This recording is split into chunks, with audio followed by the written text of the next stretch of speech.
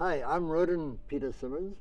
Um, Roden is actually my first name, but it comes from my grandfather stayed with us for a little while, and every time, as my, my grandfather's name was also Roden, and every time they said Roden, there's this little squeaky voice thing, and my grandfather said, oh, change the bloody kid's name. So I'm Peter. So I'm Peter Symons. I was uh, born in a small place in, in South Africa. From South Africa, and I was born in a small town called Eshowe. It's in KwaZulu-Natal. And then I spent 20 years in Botswana as a, a, game ranger working on a game farm and my wife was my uh, research manager and we were there for 20 years. My wife is from Canada so that's why we're back in Canada. When we got here, it's, uh, there's a lot of work. You know, there is a lot of work, but it's very difficult. Um, you, know, you know, I'm so young. but uh, it's very difficult to, to get a management position or a higher position. So I started off with security. I, did, I, I know a lot about it as well because I did a lot of it during days in, with anti-poaching and that in Botswana. So um, I decided to go into security and I joined Paladin Security and then I worked up from just a normal uh, guard and I did a bit of mobile and then I worked at Honeywell and then uh, I heard about uh, residence opening up in 2017 and I joined them in September 2017. I wanted to change this perception. I've, I've seen, I've been in a lot of places and I've seen how security guards, I don't know why they get this thing and they, you know, stand there and they, you know, like look at you, you know, and you're like, whoa, what have I done, you know? And I wanted to stop that, you know, I wanted to start uh, like, and, and I know a lot of people frown upon it, you know, a lot of the security industries frown upon it. They say you shouldn't get familiar with the, with all the, the students and, you know, and, and I think that's a lot of rubbish.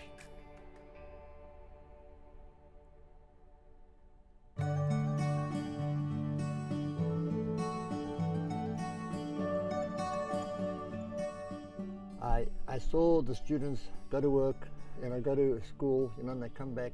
Sometimes they're stressed. So when they come in, I, I decided that, you know, we have to try and make it like a real home. You know, it's like a second home. You know, you you're away, and a lot of people come there, especially first year. You know, just come out of high school, and you're in a strange place. You know, so I try to, I really try to make people feel at home, and it makes me feel good. You know, when people come in and say, "Hey, how's it going?" You know, and they, oh yeah, and then they start, and just as long as I can get a smile on that face, you know, and that, that makes me happy. You know, us being there as security, it's not all just about being security, being there just to uh, check that everyone's doing wrong. You know, it's there to make people feel uh, at home and to make them feel safe. You know, so when I walk around and someone's coming from the bus really late at night, you know, and they just see me there you can just see, oh, they feel a bit better, you know. So it's it's that to know, okay, hey, Peter's close by, you know, if I just phone him, he'll be there, you know. I had uh, one student, uh, uh, we got a picture of him in, in, in, the office. Every year, he was there for three years, and every year we took a picture. And um, the other day we got together and he made a little album of all these pictures and he, he gave it to me. And it was that sort of thing. And he was a student that started off and he was very shy and he really struggled to meet anyone you know and he was going through a really bad time.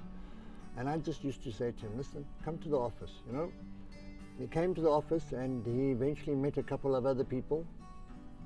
They were also shy. Just by when they come past I introduce them and get them talking you know.